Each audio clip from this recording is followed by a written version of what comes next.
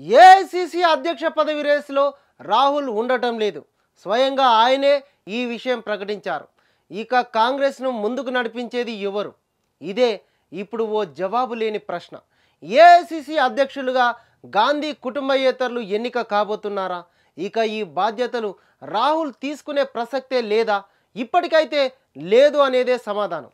తాను ఏఐసిసి ఎన్నికల బరిలో లేను అని రాహుల్ స్పష్టంగా చెప్పేశారు.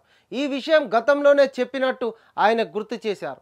తాను పోటీకి దిగే ఆలోచన ఎంత మాత్రం లేదని కుండబద్దలు కొట్టేశారు. దీంతో కాంగ్రెస్కు గాంధీ ఫ్యామిలీ నుంచి కాక కొత్తవారు పగ్గాలు చేపట్టే పరిస్థితి కనిపిస్తుంది. ఇక ఏఐసిసి అధ్యక్ష పదవిపై రాహుల్ కీలక వ్యాఖ్యలు చేశారు. ఆ పదవి సైద్ధాంతిక విలువలకు ఓ కిరీటంగా చెప్పుకువచ్చారు నిబద్ధత నియమావళి విలువలు కలిగిన వారే ఆ పదవికి న్యాయం చేయగలరని చెప్పారు. రాహుల్ ఏఐసిసి అధ్యక్ష పదవికి దూరంగా ఉంటున్నట్టు ప్రకటించిన ఈ నేపథ్యంలో కాంగ్రెస్ శ్రేణులు నిరాశకు గురయ్యారు. గాంధీ ఫ్యామిలీ నాయకత్వం లేని కాంగ్రెస్ను ముందుకు నడిపించే నేత ఎవరన్నది ఇప్పుడు ఓ చర్చగా మారింది. అయితే ఓ కార్యకర్తగా తాను కాంగ్రెస్ బలోపేతం కోసం పనిచేస్తూనే ఉంటానని రాహుల్ అంటున్నారు.